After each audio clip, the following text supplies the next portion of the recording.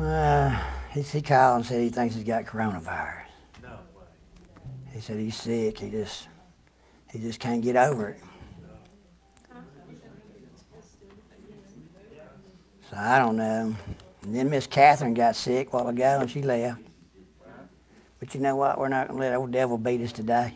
We're still going to have services. We're still going to sing. Y'all get to listen to old Ronnie preach. I'm going to do the best I can. God's, God's got it all prepared. He's got it all prepared. We got a new piano player over here. She picked out some basic songs. But we're going to, hey, yeah, we're going to do chopsticks. Y'all know how to sing chopsticks? twinkle, twinkle, little star. Jesus loves me. Jesus loves me. Yes, I know. Hey, that's one of the best songs in the world. You learn when you're a little kid. You know it all your life. I remember, I remember looking at it that Jesus loves me. I didn't know there were second, third verses to it, Yeah. but there are. I just knew that one, the first one. Yeah. But if you keep on, there's more verses. Look here, we got sick people coming in left and right. Miss Teresa's back. She's been sick for two weeks. Oh Lord, man, I tell you. I'm not gonna be on camera today, am I? Man, don't make me put under pressure here. No pressure. I am? All right. What? oh, man, oh, man. It just gets worse and worse, doesn't it? All right, we got a few more minutes. We know some stragglers will be coming in. Is everybody doing all right today? Did y'all come to the house of the Lord to praise Him today? Man, I'm to tell you what. Let me just give you a little breakdown of what's going on. Brother Scotty called this morning. He said he was sick. He thinks he's going to go get tested for coronavirus again. He don't know if he's, you know, he was sick a couple of weeks ago, and he says, he's, he said, I can't throw this. He said, I'll be in at 11 o'clock. But I think Brother Jerry called and said, don't come in, because if you got coronavirus, we don't need you coming up here and preaching to everybody and getting spreading it. We don't know what he's got, but let's pray for him today. And then our, uh, who's that? Oh, that's Brother Scotty? Yeah, All right. in a hospital somewhere. He's in the hospital? I mean, somewhere. Oh, man, we need to pray for old Brother Scotty if he's in the hospital. And then Miss Catherine, after they got through rehearsing the music for day, she got sick. And I said, you know what? The old devil's trying his best to disrupt our service today, but you know, we're not going to let him. I was telling this morning in Sunday school, this morning when I got up, I get up every morning and go walking. And as I was walking, something in me saying, be ready. And it always happens like that. You know, when Brother Scotty usually calls me, I've got an hour or two to get ready to preach. But I always have fair warning because something is telling me, hey, be prepared today. That's the Spirit of God. You know, I think to myself, if I, am I going to be nervous? Am I going to mess up? But I think, no, because God put me in this position, He's going to provide for me. Amen? Amen. So I'm not going to worry about that. We're going to have a good time. So listen, if y'all will turn to your hymnals to page 236 in the Baptist hymnal. We're going to sing our song that we always do on, on the Sunday morning when Miss Catherine's not here. Bless that wonderful name of Jesus. And we're going to get this day started right. Amen. Brother Jerry, you want to start us out in a word of prayer before we get going?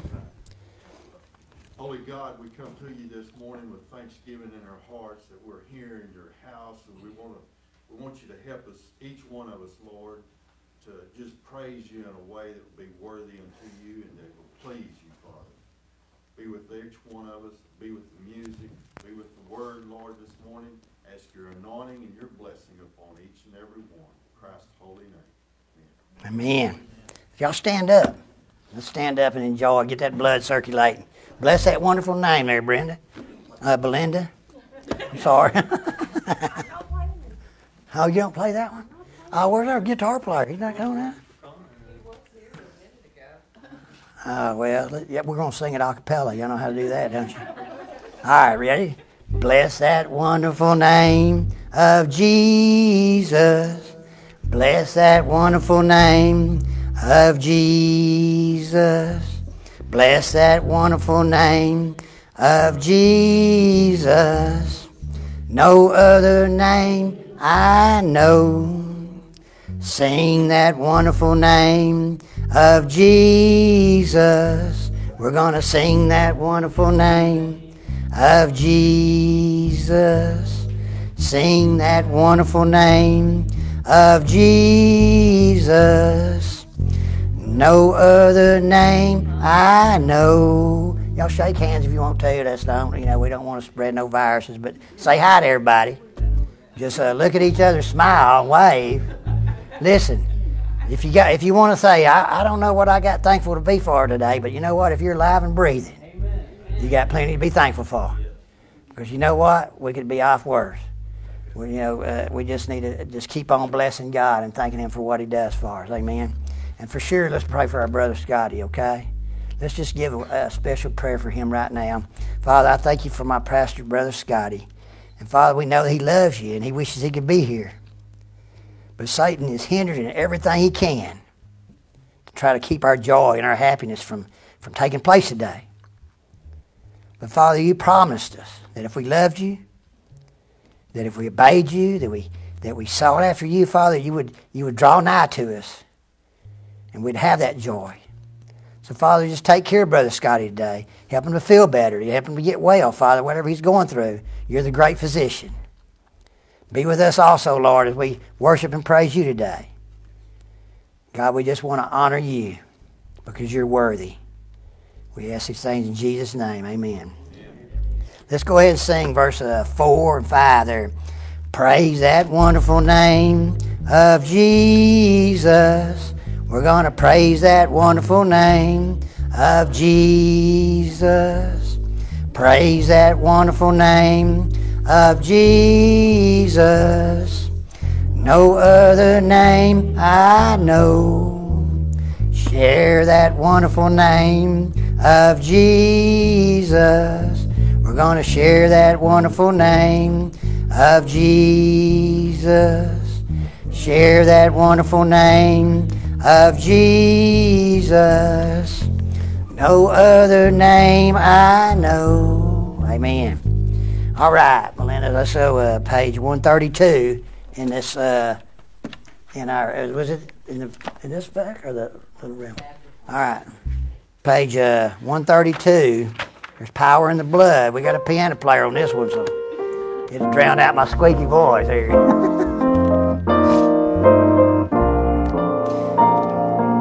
Would you be free from the burden of sin? There's power in the blood, power in the blood. Would you or will the victory win? There's wonderful power in the blood. There is power, power, wonder working power in the blood of the Lamb. There is power,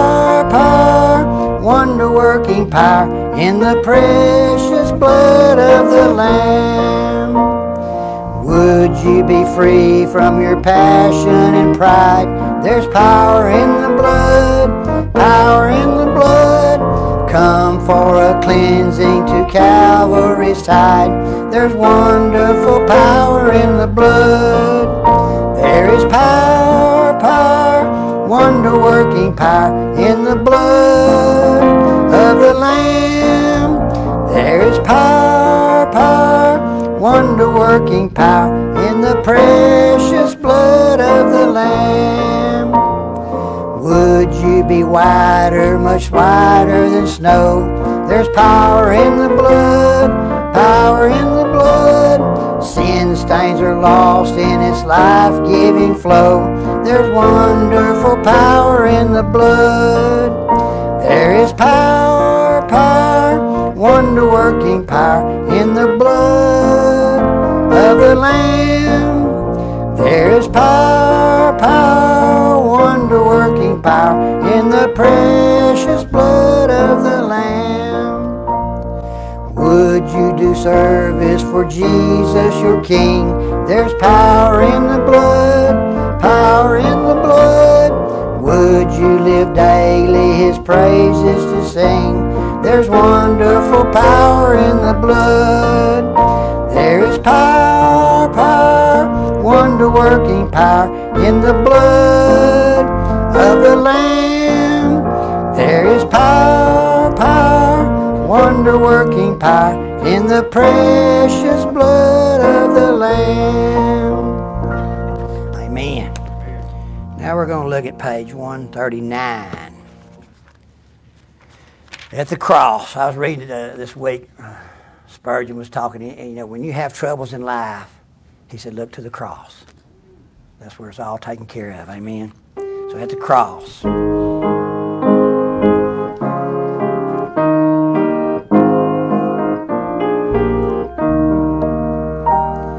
Alas, and did my Savior bleed, and did my sovereign die?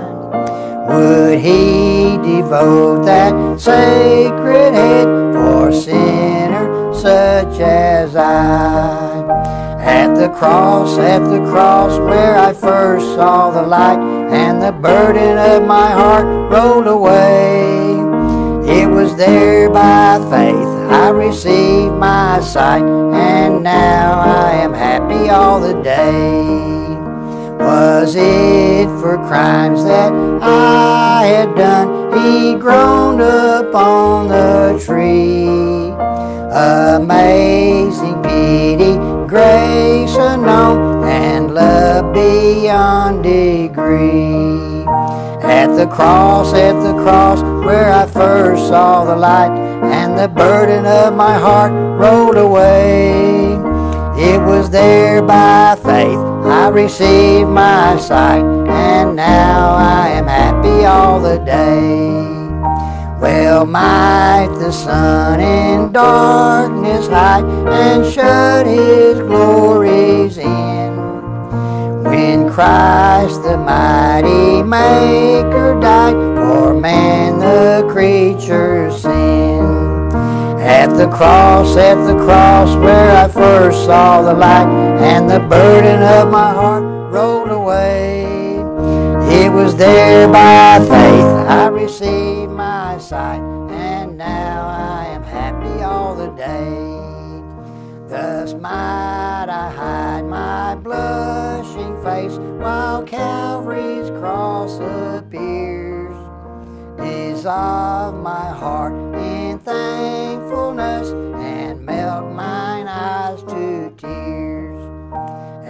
cross, at the cross where I first saw the light and the burden of my heart rolled away. It was there by faith I received my sight, and now I am happy all the day. But drops of grief can ne'er repay the debt of. Here, Lord, I give myself away. Tis all that I can do. At the cross, at the cross, where I first saw the light, and the burden of my heart rolled away. It was there by faith I received my sight, and now I am happy all the day. One more there. It's page 182. What a friend we have in Jesus. That's the truth, isn't it?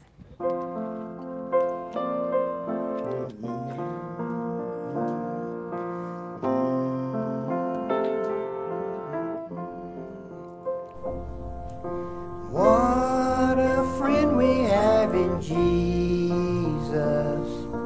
All our sins and griefs to bear.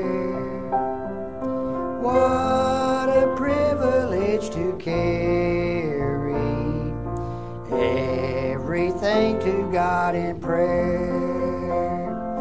Oh, what peace we often forfeit. Oh, what needless pain we bear. All because we do not carry everything to God in prayer.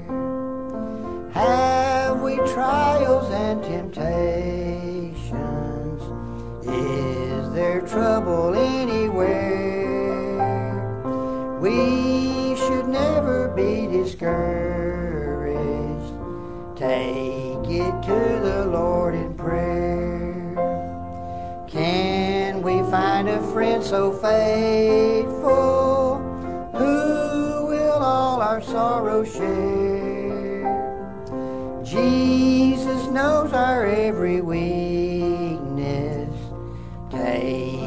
To the Lord in prayer. Are we weak and heavy laden, cumbered with a load of care? Precious Savior, still our refuge. Take it to the Lord in prayer. Do thy friends despise, forsake thee? To the Lord in prayer. In his arms he'll take and shield thee. Thou wilt feel a soul is there. Amen. Thank you for playing the piano for us. Hey, that's what it's all about, serving God. You step up when you need it. Amen. Hey, thank you, Eric. I don't know where Connor was. I don't know. He didn't show up, but anyway. Y'all can, y'all can be seated.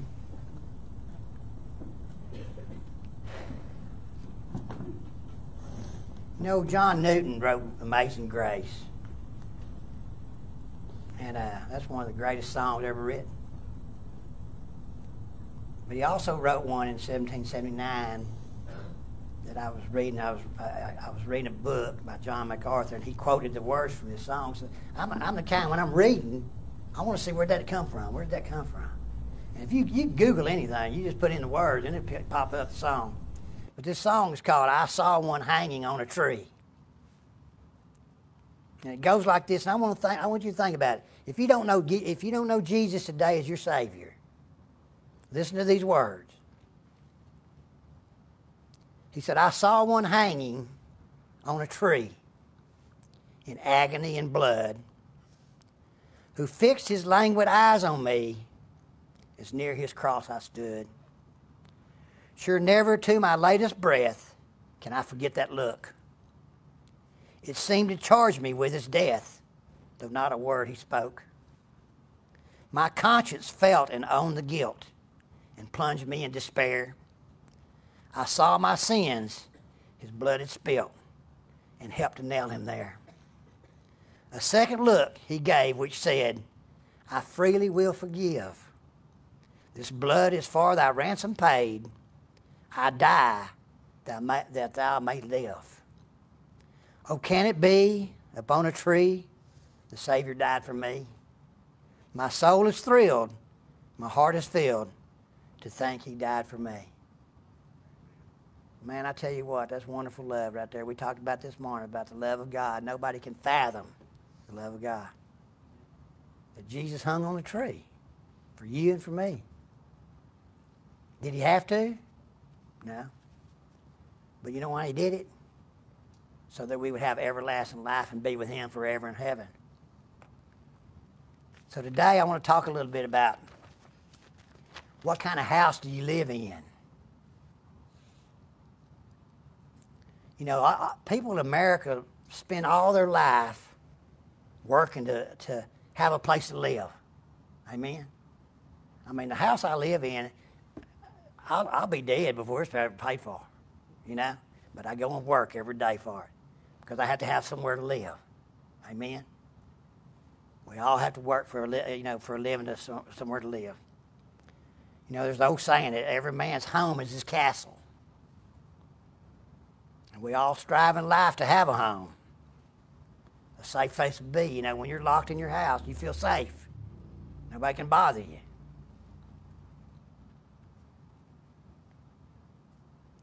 But you know, that's just a physical home here on earth. Jesus said one day all this going to burn up. It ain't going to amount to anything. You know, the Bible says it's an appointed and a man wants to die. And after that's judgment. One of these days, if Jesus doesn't come back, I'm going to die, and that house is not going to mean anything to me. I can't take it with me. But you know what I have to do? During the meantime, I have to prepare a home for my soul. A home for our soul. A spiritual home. You know, John MacArthur said there's two kinds of people in the earth today. There's only two. Now you say, oh man, that's crazy because there's thousands of different kind of people, different kind of cultures, and different kind of backgrounds and eth- eth- ethnicity and all that stuff. But there's only two kinds of people on earth today. You're either saved or you're unsaved. You know, Jesus said that you are either for me or you're against me. There are those who love God and those who don't. Those who believe and those who don't believe. Those who are assured of life eternal and those who are condemned forever. John 3:18 says he that believeth is not condemned. Those who dwell and abide in God and those who don't. That's why I asked today, what kind of home do you have for your soul? Because one of these days, when you die, your spirit's going to leave and it's going to go to one or two places. You make that choice today where it's going. Amen? You're just going to either go to hell or it's going to go to heaven. There's no other choices about it. So the question today is where are you dwelling at? Where do you live? Where's your house built and how has it been built? Where is your soul's house? That's what we have to think about today. You know, another word for a house or a home is a dwelling. Amen? And the Hebrew word for dwell is yashab, Y-A-W-S-H-A-B. And it means to dwell, to remain, to sit down, to stay, to have one's abode to live in. These are descriptions of a home. And it's not just an earthly home, but a spiritual home. So ask yourself, where am I dwelling today? Where am I abiding at today? Where do I sit at? Where do I stay? 1 John 4.13 says, Hereby know we that we dwell in him, and he in us, because he hath given us his spirit. In other words, we abide in him. That's our home. That's where you want to build your eternal home, is in Jesus Christ. Amen? Now, let me ask you do you want a house for your souls? We all would love to have a house like that, wouldn't we? But what does it cost? How much would you have to pay for a house like this? I can tell you that because of our proud human nature, we would try to pay whatever we could to get that house, wouldn't we? It's called self righteousness. Hey, I'll do whatever it takes to get that house. But guess what? This house can't be brought with money. There's no price set up on this house for your soul. Let me open with prayer before we get started. Father, I thank you so much that you've given me the opportunity to speak today. And Father, all I can do is just lift myself up to you and say, Lord, you use me. Let these words that I wrote three or four months down ago be used today to glorify you. And Father, if there be anybody in here that doesn't know where their soul is right now, if they don't know if it's in an earthly home or if it's in a heavenly home, to God, just let it be revealed to them that they need you. Thank you for the opportunity to serve you. Thank you for the opportunity just to get up here and sing and do the best we can to praise you. We ask that you just move now, that you speak to our hearts. We ask this in Jesus' name. Amen. Psalms 127 1 says this Except the Lord build a house, they labor in vain that build it. You know, I think about I spent 60 years of my life building a house for my soul in vain. You know, I grew up in church. I remember the only time I, uh, you know, my mom and dad used to make us go when we was little kids. They wouldn't go, but they'd make us go. I'd get so mad. And they say, well, if you don't go to church, you ain't going to be able to play outside this afternoon. So we went, you know, because you wanted to play outside. And my grandparents, when I went to visit my grandparents, I always remember going to, to vacation Bible school and going to church with my grandmas on Sundays.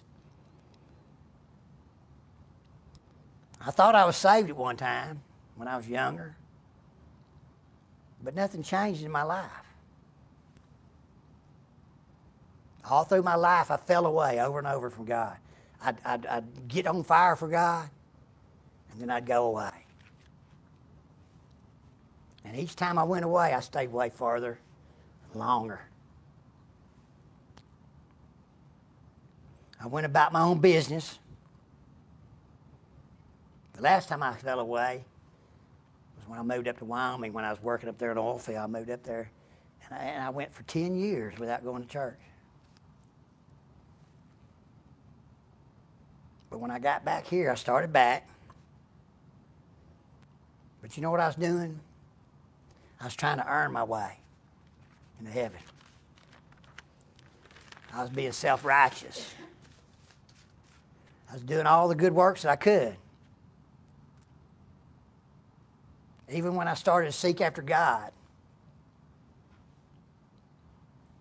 You know, I was living down in San Antonio and I was working in an oil field down there, and that was one of the worst times of my life. I was going through the worst addiction that a person could ever face. But I'll never forget the day I was driving down around the loop there in San Antonio, and something just told me that, look, you either choose me or you're going to die. And I chose him. But I wasn't saved at the time. I think all those years I spent at church with my grandparents, God was still working on me. So I got back in church again, right over here in Overton. Now listen, the, the first month I was there, the preacher, just because I had taught Sunday school one time, I, I was mentioning to the preacher, he said, Well, you want to start teaching the adult Sunday school class here? I thought, Well, yeah, you know, that might make some points with God. So I started teaching Sunday school. I worked every year at VBS. Listen, I tithed. I was at church every time the door opened. And there was a time I rededicated my life to God. I went down front. But I didn't need to rededicate my life. I needed to be saved. I didn't know that. I was still building my house in vain. You know what I was trying to do? I was trying to pay rent on the house of my soul. And anyone here today that is trying to get into heaven any other way than through Jesus, they're paying rent as well. And that's not going to work. You know, Jesus said, I'm the door. Any man that tries to get in any other way is a thief and a robber. I was a thief and a robber. Everything I did for God was in vain. It didn't have no meaning. Even though I helped little children come to God in VBS, those works didn't count for nothing, except they were saved. But it didn't account for me. I was still lost. Self righteousness, works based religion.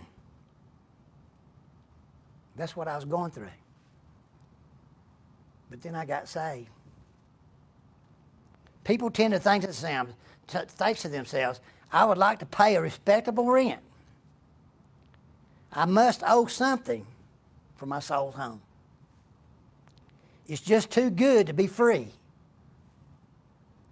I would love to do something to win Christ. There's got to be something that I can do to get this house. But you can't. You can't. Well, here's the bad news. You cannot have this house, for it is without a price. It's free. And it's offered by God.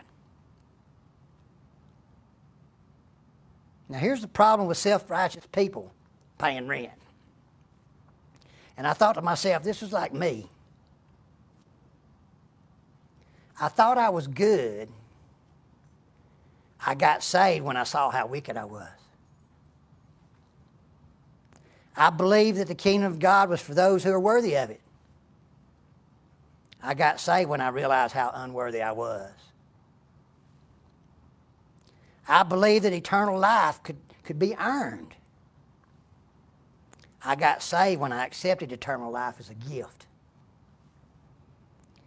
I was busy seeking God's commendation. I got saved when I sought His forgiveness. Amen. God's house is without a price.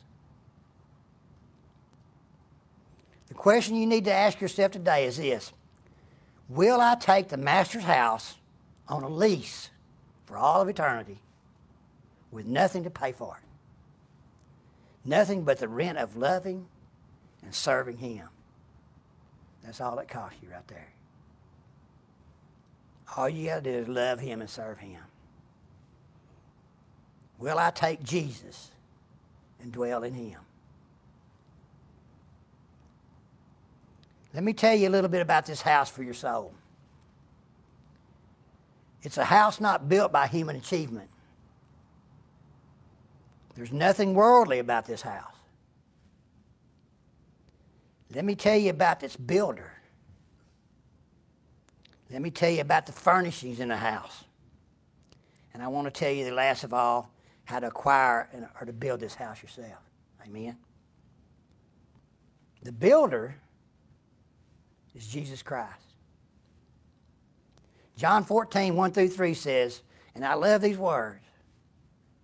The wonderful words of Jesus. He said, Let not your heart be troubled. Ye believe in God, believe also in me. And listen to this. He said, In my Father's house are many mansions. If it were not so, I would have told you. And Jesus said, I go to prepare a place for you. And if I go and prepare a place for you, I will come again and receive you unto myself. That where I am, there you may be also. The house is built. Jesus built it. That's the greatest thing about God's Word. That's where faith comes from. When you read things like that, God prepared me a house for my soul. Sure, I work on this earth to, to live in my little earthly house, but it's going to be burned up like hay and stubble. But God's built me a house, and that's where I'm going. Thank God, amen. And if, you, if he, he said, if I go and prepare a place, I'm coming back to get you. We, if you watch the news, everybody talks about, hey, Jesus is coming back soon. I know he is. Are you ready? It's when you least expect it. That's what he said. When you, when you least expect it, everybody's going to be going along like everything's perfect. But all of a sudden, the Son of Man's going to come like a thief in the night. And us church is going to be gone. And I pray for anybody who's left behind. Man, I got, I got family members. I, you know, we've been studying on uh, Wednesday nights Revelation and the things that they're going to go through. Man, I don't want that on any of my family. But they won't listen. It's going to be a bad time. But thank God I have a house built. Amen.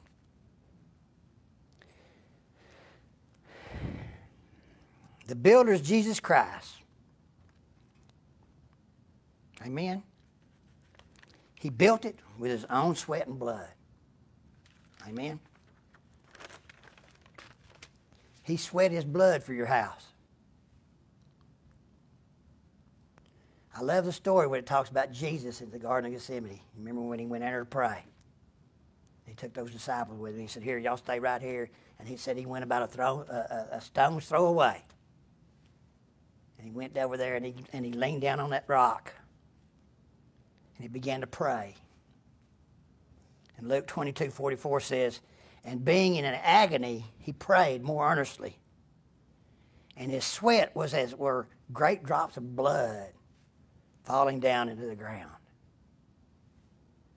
Hey, I've never prayed that hard. I think, well, I, I do pretty good at praying, but you know what? God was, Jesus was agonizing. He sweat drops of blood. Spurgeon said, Christ was not afraid to die. What was it then that made that cup so terrible? After dwelling in the love of God for all eternity, he was, in a few hours, to bear the punishment of man's sin. All of our sins. Jesus was to be made sin for us. He was to come under the curse for us. He was to feel the Father's wrath on account of human guilt. And his whole nature, not only his flesh, but his whole being, shrank from that fearful ordeal. He knew what he was fixing to face. He was sweating drops of blood. Mm. He spilt his blood for your house. He sweat, he sweat for your house. His blood was spilt for your house. He gave his life's blood for our house. John 19, 34, when Jesus was hanging on the cross. They wanted to make sure he was dead. Instead of breaking their legs, they went up to Jesus. They stabbed that spear in his side. But one of the soldiers with a spear pierced his side and forthwith came there out blood and water. His blood was spilt for you and me. Every ounce of it. Until the water came out.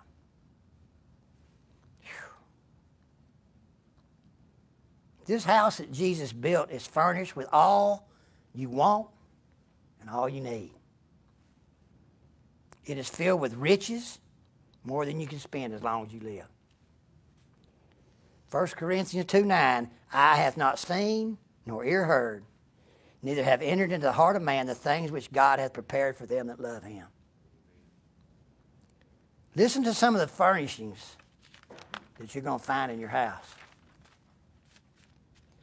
Galatians 5 22 23 talks about the fruit of the Spirit love, joy, peace, long suffering, gentleness, goodness, faith, meekness, temperance. All the fruits of the Spirit are in that house. I want all those fruits, especially in the world we live in. Man, I want that love and joy and that peace. Amen? In this house, you can have intimate communion with Christ and feast on His love. The tables are well stocked with food for you to live on forever. John 6 48, Jesus says, I am the bread of life. John 6 33, for the bread of God is he which cometh down from heaven and giveth life unto the world. John 6 35, Jesus said, I am the bread of life. He that cometh to me shall never hunger. And he that believeth on me shall never thirst. Christ supplies your every need in this house. In this house, when the world and its temptations have you weary, you can find rest. Are you tired and run down by the life of sin? I promise you, sin takes its soul on you, takes its toll on you, and it'll wear you out. But there's a house for your soul built by God in which you can find rest. Listen to the words of Jesus in Matthew 11, 28 through 30. He says, Come unto me, all ye that labor and are heavy laden, and I will give you rest. Man, I remember that time when I was going through that addiction. Verses like that would come back to me because I would think, man, I'm so tired of what I'm going through. And that verse right there would say, hey, come unto me, I'll give you rest. But my grandma and them planted those verses there years before. God was still speaking to me. He said, Take my yoke upon you and learn of me. For I am meek and lowly in heart, and ye shall find rest unto your souls. For my yoke is easy and my burden's light. You know, serving sin is way rougher on you than what God does for you. Serving Jesus, it's rough sometimes, but you know what? The, the rewards, you can't be beat. Come is the main word. He drives nobody away. He calls us to himself. His favorite word is come.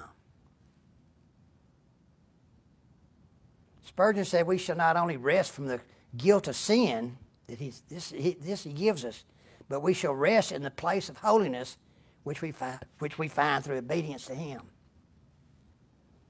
If you want rest, go to Jesus. If you're tired of life and your times are hard for you, go to Jesus and he'll give you rest. Will you have this house?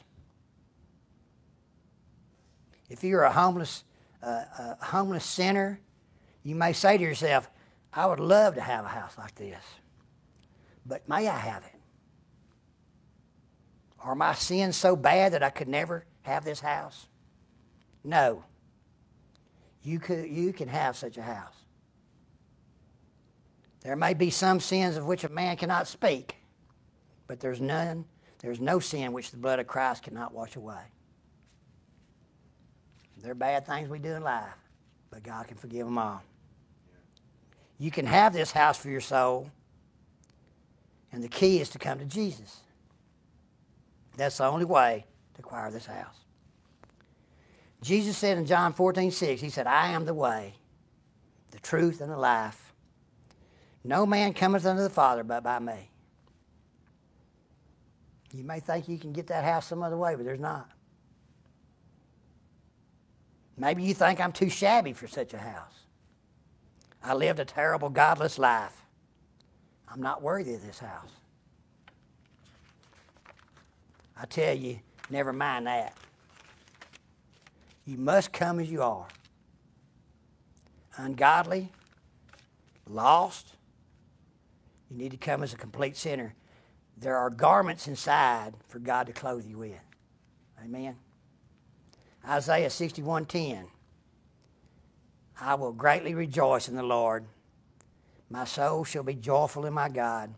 You know why? For he hath clothed me with the garments of salvation. He hath covered me with the robe of righteousness. You remember Brother Scotty did a little, uh, a little example of that when he had Connor come up and he put his coat on him. That's how, that's how God sees us. When we stand before God's throne, we have Jesus' righteousness on our shoulders. That's all that God sees. I love the story he told about. Uh, I, I remember in his office watching that preacher was talking about when we stand before God and they start looking in that book uh, of sin and, and, and they can't find your name in there because it's not there anymore. It's been taken out because Jesus saved you. Nothing you did in the past will ever be remembered again. I think that was the hardest thing for me after I got saved to think, God's going to remember what I did. Even now, Satan will throw things in my face and say, hey, remember when you did this and you did that? Because he can't stand for you to be saved. He wants to remind you every day of how bad you are. That's Satan's a liar. Jesus said, You believe in me, you trust me, and you have everlasting life. You don't have to worry about nothing. Your sins are gone, your past is gone. But I guarantee you, Satan's going to attack you every day trying to make you think you're just a very good person. If you feel guilty and condemned, come. And though the house is too good for you, Christ will make you good enough for the house. Soon enough. How does he do it? God justifies the ungodly person. You see, Jesus came into the world to save sinners. Forgiveness is for the guilty. You may think that you're, you need to first change yourself. You need to change your ways before seeking after the house of your soul, but that's not how it works. That's not how it happens. You can never be good enough. You got to come to God as you are. A lot of people say, when I, when I get ready, I'll go. Or when I start living a better life, I'll start seeking God. That's not how God wants you. You know, we was reading that All of Grace book by Charles Spurgeon. And there was a story in there about coming as you are to God. And said a great artist long ago had painted a picture of a part of the city in which he lived. And he wanted, for historic purposes, to include in his picture certain characters well known in town. A street sweeper who was unkempt and ragged and filthy. You've ever watched uh, Mary Poppins? Remember old Dick Van Dyke, how dirty and nasty he was? And I thought about that. He was a street sweeper, you know, and he was dirty. And he was known to everybody, and there was a suitable place for him in that picture. The artist said to the ragged and rugged man, I will pay you well if you will come down to my studio and let me paint you. He came around in the morning, but was soon sent away. For he had washed his face, combed his hair, and put on clean, respectable clothes. He was needed as a beggar and was not invited any other way. Even so, the gospel will receive no one, will receive you into his halls if you come as a sinner, no other way. You got to come to God as a sinner. That's the only way. Don't attempt to clean yourself up. You know why? Because He will wash you and cleanse you. And you will be able to sing, We dwell in Him. The whole song says this Have you been to Jesus for the cleansing power? Are you washed in the blood of the Lamb? Are you fully trusting in His grace this hour? Are you washed in the blood of the Lamb? Are your garments spotless? Are they white as snow? Are you walking daily by the Savior's side? Do you rest each moment in the crucified? Are you washed in the blood of the Lamb? That's all that matters. Day you stand before God, are you washed in blood? When you dwell in Jesus, your happiness will be multiplied in having such a dwelling place. What a privilege for you to live in such a secure dwelling. Amen? A place of safety. Psalms 4.8 says, and, and this is God speaking, I will both lay me down in peace and sleep, for thou, Lord, only makest me dwell in safety. Proverbs 3.23, Then shalt thou walk in, way, in thy way safely, and thy, fo- and thy foot shall not stumble. Isaiah 32:18 says, "And my people shall dwell in a peaceable habitation, and in sure dwellings, and in quiet resting places." When you dwell in God, you have not only a perfect and secure house, but you have an everlasting one. John 6:47, "Verily, verily, I say unto you, he that believeth on me hath everlasting life." This world's going to melt away one day. Talks about it in, in, in Peter. It's going to be melted like a dream. Our house shall live and stand more imperishable than marble, more solid than granite. Self existent is God, for it is God Himself. We abide in Him. God is the house of our souls. How do you build this house? Through your faith and obedience in Jesus as your Savior. Amen. Spurgeon said this He said, Let us not build our house upon the moving quicksands of a deceitful world, but base our hopes on this rock that amid descending rains and roaring floods shall stand immovably secure. You got to build your house on the rock. Amen. Let's look at Matthew chapter 7 before we close here. Verse 24 through 27. You want to build a house. Listen to how Jesus tells you right here. He said, Therefore, whosoever heareth these sayings of mine and doeth them, I will liken him unto a wise man which built his house upon a rock. And the rain descended, and the floods came, and the winds blew, and they beat upon that house, and it fell not.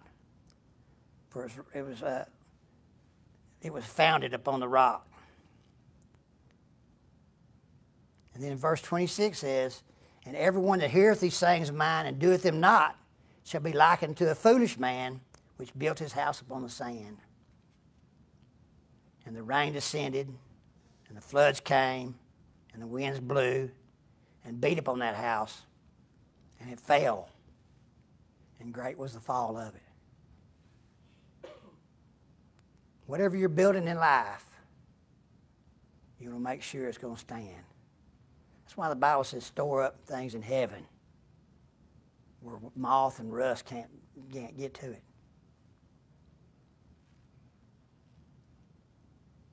If you don't know Jesus today, He welcomes you.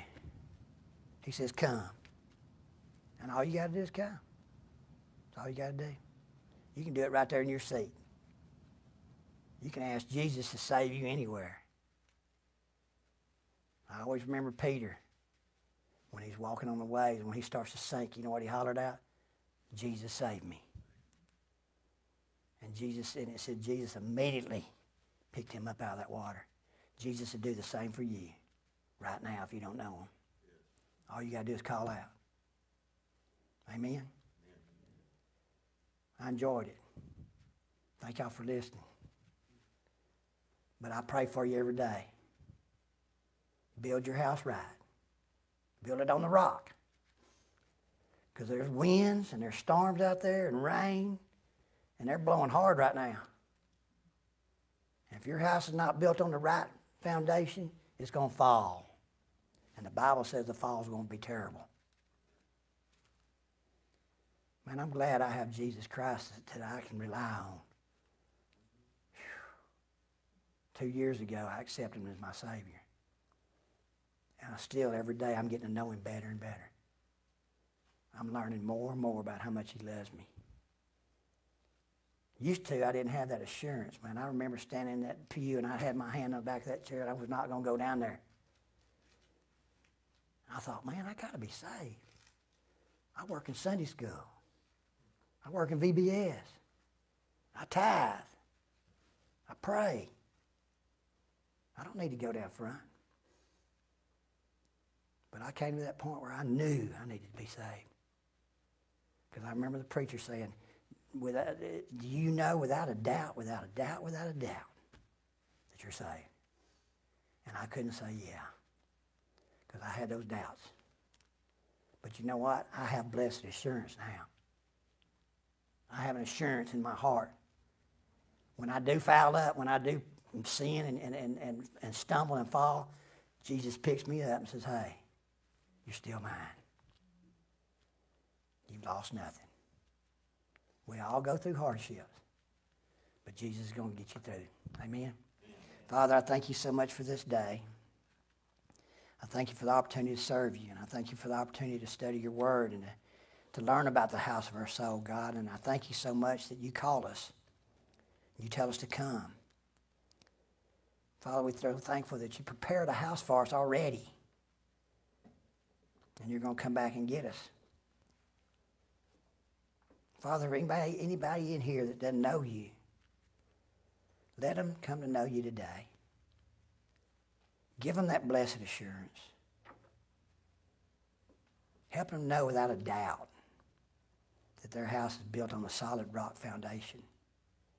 And no matter how bad the storms in life get, it's going to last. Jesus is going to pull them through. We ask that in Jesus' name. Amen. I think we're going to play a verse or two.